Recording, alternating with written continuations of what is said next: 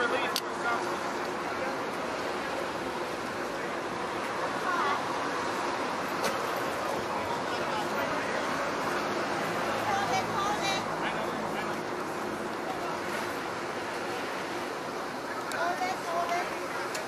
What?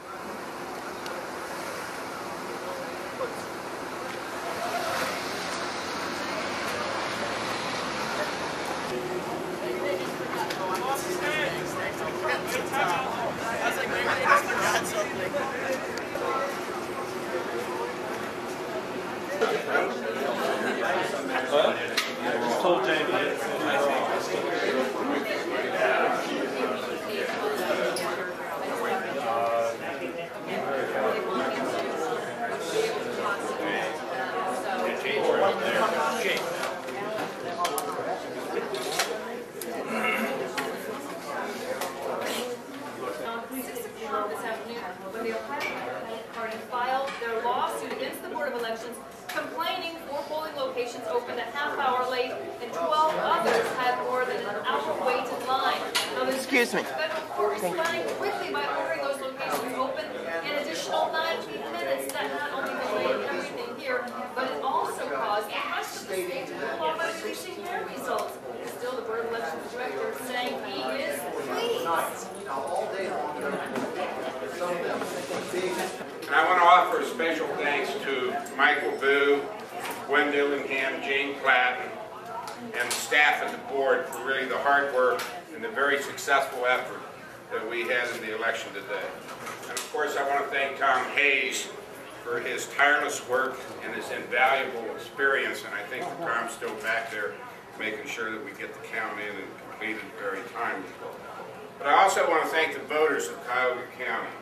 Thousands have voted the absentee ballots that enabled us to get a head start on this election. And also for those who voted on new technology for the first time today.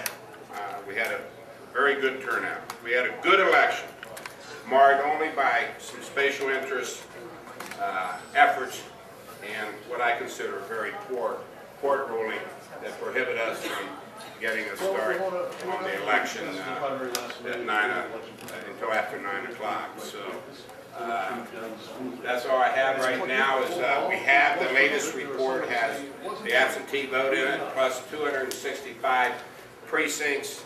Uh, We recognize that there's some uh, glitches in the uh, reporting itself and not giving you the number of precincts that are coming in, but we're trying to correct that by giving you a separate report telling you how many precincts are in and and how many are out. But the count is proceeding and is proceeding smoothly, and we expect to complete this very shortly.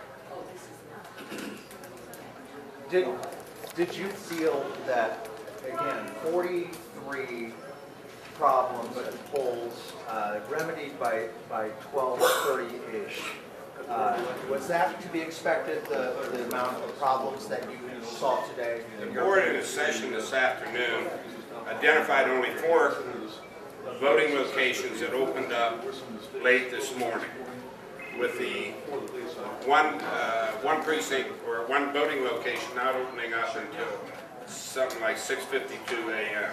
this morning. Those were the only voting locations that the board was able to identify that opened on up late. And I might add that that's about a third of the normal problems that we have in opening up precincts. Custodians forget their keys, custodians don't show up on time, booth officials don't show up on time. Uh, That happens in every election, those are normal.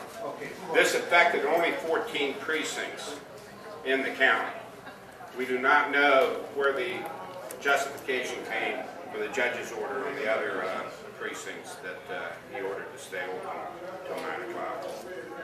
Do you- do you, there's a wide amount of debate on whether, you, you touched upon this, whether uh, we've always had these problems and we're getting far enough along that we're squeezing and starting to to pull out all these problems. Uh, Given the fact that May was such a big issue, um, do do you believe that we now got this under control? Well, I, I believe that the board did an outstanding job in bringing everything under control for this election. This was a good election conducted in this county. It's unfortunate that the judge, based upon some unsupportive or any corroborative evidence, saw fit to keep uh, the polling locations in a limited number, which generated the Secretary of State to put out a directive that nobody could report until 9 o'clock, which is the law. Uh, You can't start reporting until all the polls or the uh, polling locations are closed.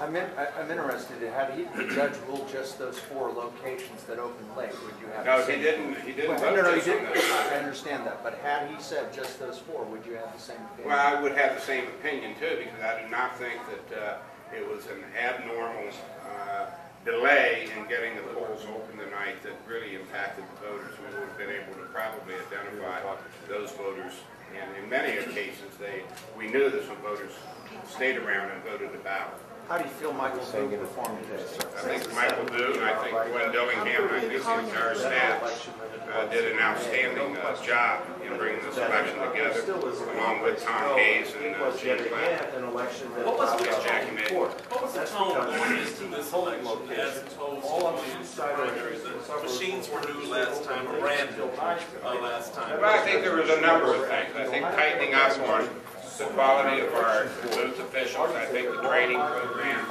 helped out a great deal that was conducted by uh, Tri-C.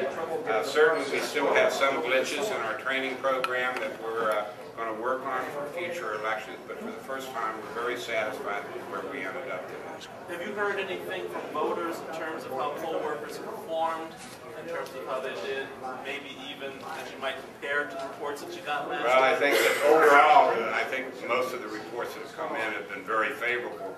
However, as you know, we will be examining all of the slips and all of the complaints that come into the board during the course of this election day, and we'll have that available during our normal audit procedure. The judge saying the election was good, but he erred on the side